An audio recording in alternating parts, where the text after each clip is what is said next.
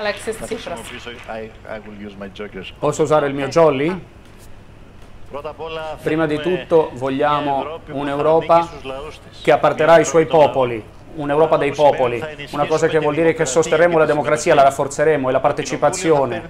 Il Parlamento europeo prenderà le decisioni importanti e i cittadini decideranno per le questioni importanti con dei referendum, non con delle porte chiuse le decisioni, non più, non più destrutturazione della volontà popolare. Seconda cosa, cercheremo subito di mandare via la Troica da, dall'Europa la catastroica, la troica che rovina. Faremo una convenzione europea per trovare una soluzione vivibile per il debito, per uscire dalla crisi con solidarietà, con coesione sociale e democrazia.